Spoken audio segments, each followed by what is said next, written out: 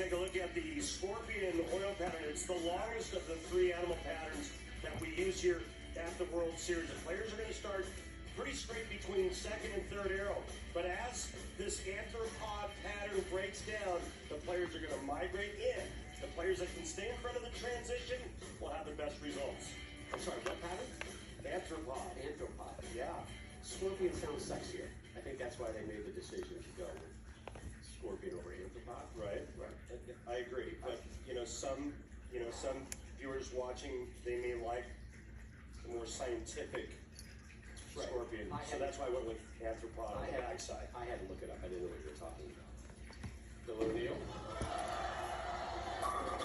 It's all 10 to go in the opening frame of this four-man match. If you missed the last two nights, it is rapid fire bowling. Yeah, No time to breathe. Kyle Troup steps right on up. I'm just going to try to keep you informed as to who's leading.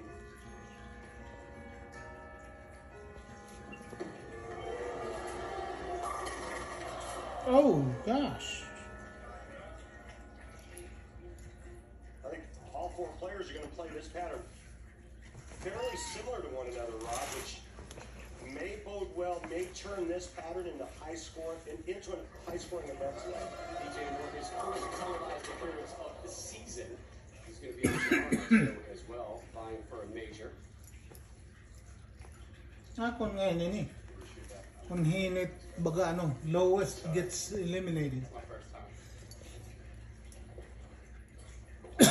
I think. Uh, yeah, he, he left his So what do you think you're doing there? in the locker room. Ah, Ay, naglalatag ko na eh, himit. walking in Gin, the tournament, titilo. I need a spare ball. Yeah. Ha? That's Jason Valenti.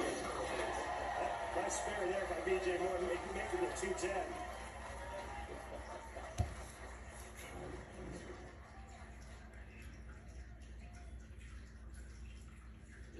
Tough spare replay and a big one for VJ.